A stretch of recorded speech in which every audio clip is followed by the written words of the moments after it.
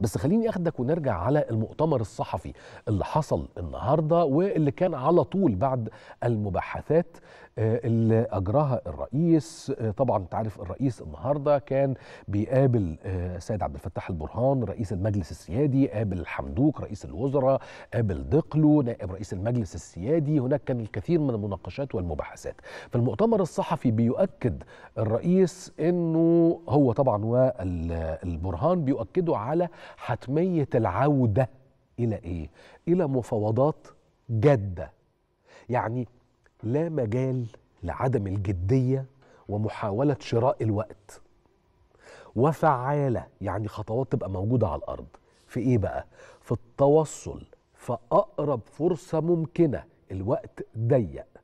قبل موسم الفيضان المقبل. وأظن الفيضان بيبقى في أغسطس لو أنا لسه معلوماتي الزراعية سليمة. في إيه بقى؟ في اتفاق عادل. إحنا هنا بنؤكد على إيه؟ عادل لكل الأطراف.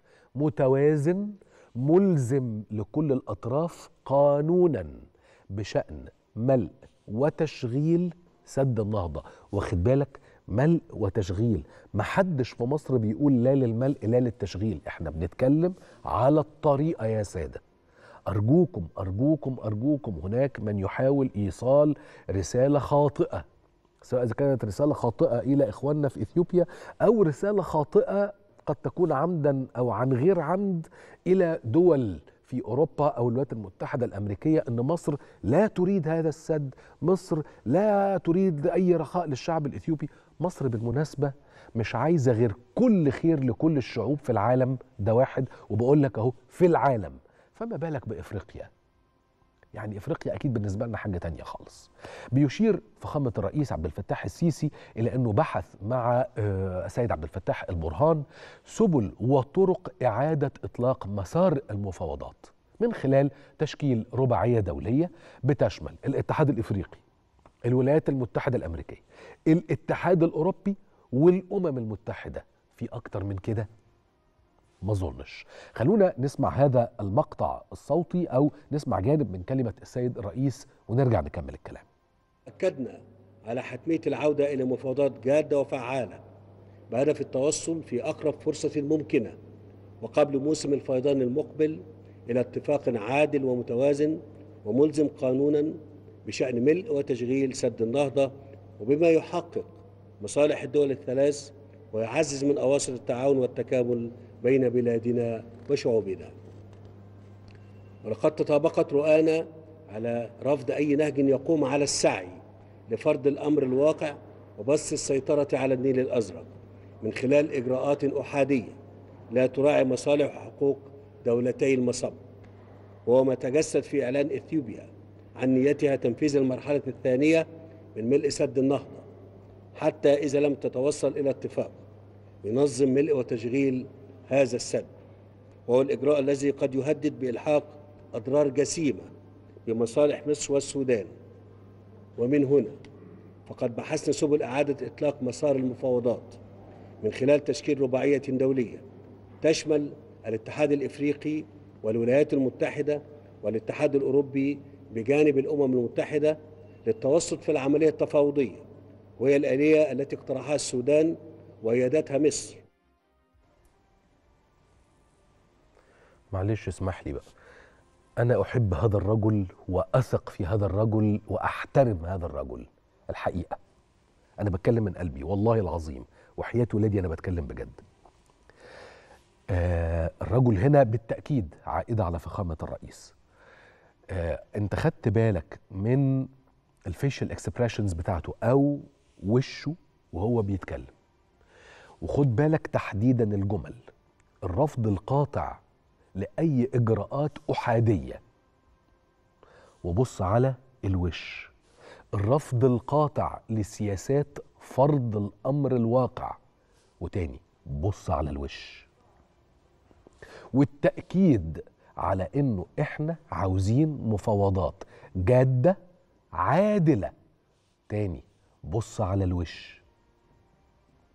وجه الرئيس وهو يتحدث حول رفض الإجراءات الأحادية من جانب من الجانب الإثيوبي رفض الأمر الواقع من الجانب الإثيوبي وتأكيد الرئيس خليك بقى مركز على وشه تأكيد الرئيس وهو يتحدث عن مفاوضات جادة عادلة ملزمة قانونا لكل الأطراف. بشأن ملء وتشغيل السد. أنا عندي ثقة مليون في المية إن كل ما يعرض أو ينشر أو يكتب حتى على ال social media آه، من أي جانب مصري بخصوص سد النهضة وإثيوبيا إثيوبيا بيتم ترجمته فورا من الجانب الإثيوبي وده حقهم بالمناسبة. فبنؤكد مرة تانية يا سادة يا إخواننا يا أهالينا في إثيوبيا والله إحنا عايزين لكم كل التقدم والرخاء. مفيش مرة سمعنا حاجة غير كده. ومفيش مرة شفنا توجه مخالف لده. ومفيش مرة شفنا أي خطوات عكس ده تحت أي ظرف من الظروف. أنا لو رجع بيا الزمن لورا هفتكر كويس كان ليا حظ سعيد جدا في إن أنا سافرت إثيوبيا أديس أبابا في آه، وقت قمة الاتحاد الإفريقي في سنة 2018 يناير 2018 بطبيعة الحال طبعا الرئيس كان موجود. باعتباره كان على طول بيتسلم بقى الدورة الجديدة رئيسا للاتحاد الإفريقي. وشفت مش هقول لك بقى شفت المفاوضات أكيد لأ يعني في النهاية أنا مسافر صحفي. لكن أنا شفت جانب من اللقاءات بعض المحاورات اللي هي متاحة للصحفيين ما بين الرئيس عبد الفتاح السيسي وما بين رئيس الوزراء الإثيوبي وقتها. ما كانش فيها أي كلام على رفض مصر على الإطلاق لكن كان فيها التحفظات والتأكيد على إنه المصالح مشتركة.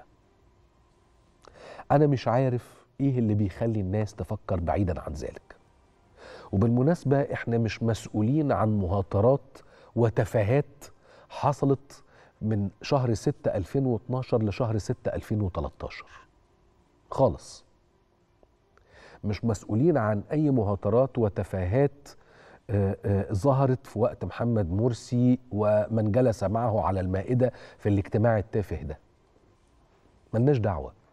إحنا بنكلمكم على دولة تبدأ في 30 6 2013 حتى هذه اللحظة بنتكلم على توجه هذه الدولة الراسخ الأكيد الواضح والذي لا يحمل أي لف أو أي دوران على الإطلاق. طيب أتمنى بس أصدقائنا وإخواتنا في إثيوبيا أن يترجموا هذا الكلام وأن يصل دائما إلى من بيده الأمر هناك. ودمتم.